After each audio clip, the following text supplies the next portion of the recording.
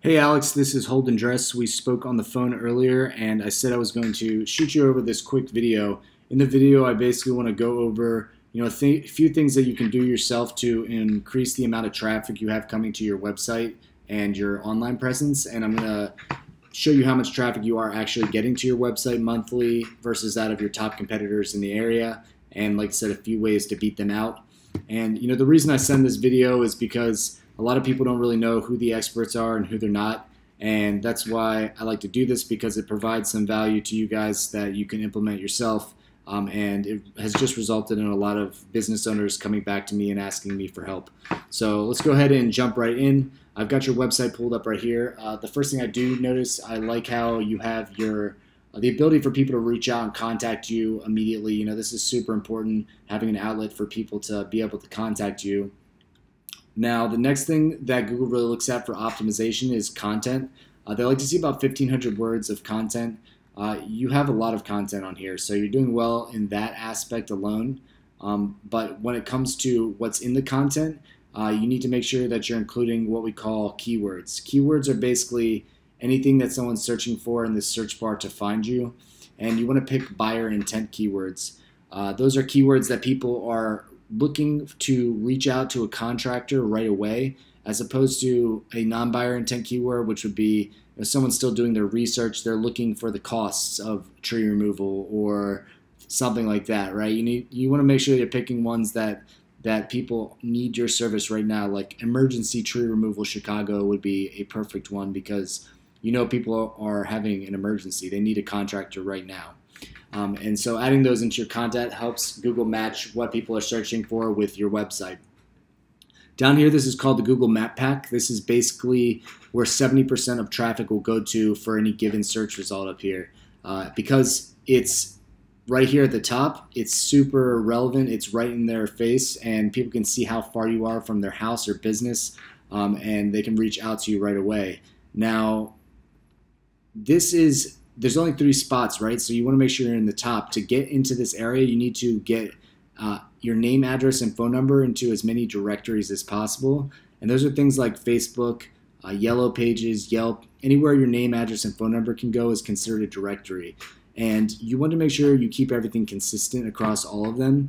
If there's any inconsistencies as far as you know your name, address, phone number, or your business hours, anything like that, that's considered confusing to Google and to the customer, and they'll actually deduct you authority points and you won't show up in this map pack.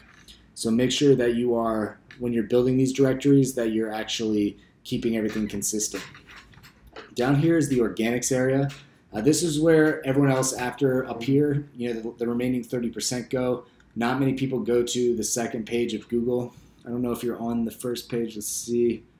I don't see you here. So to get on the first page, you want to basically go out and get what we call backlinks. Backlinks are links from other websites linking in the direction of your website.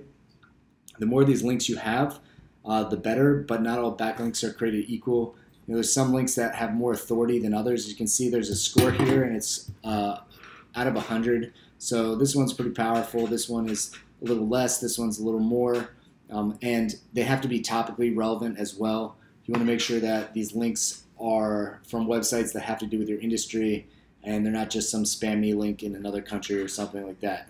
And you can find these links on indirect by putting your business in directories or commenting on blogs and things like that, and leaving a link in the comments section. Uh, over here is a tool called SEMrush. It's one of the more powerful tools I use in my industry to look at how much traffic is going to someone's website and why. And I've got your website over here comparative compared to this top competitor, which is Jose's Tree Service. They're the first one that comes in the search results when you type in tree service in Chicago. And they get about 265 people to their homepage organically a month versus your website, you're only getting about four people to your website. Um, they have 109 keywords that people are searching for versus uh, your 14 keywords.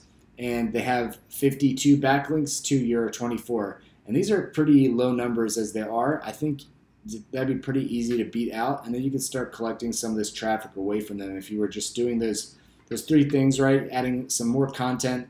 Um, I think you're doing pretty well on content, but you want to make sure you have more than your competitor. Uh, adding those buyer intent keywords and adding those backlinks that are relative to your industry, And then also, if you want to get up into the Google Map Pack, you want to make sure that you're getting your name, address, and phone number into all those directories and keeping everything consistent across all of them. So I hope this was helpful. And like I said, if you would like to chat some more, please reach out. My phone number and email is in the this email, so you can respond either way.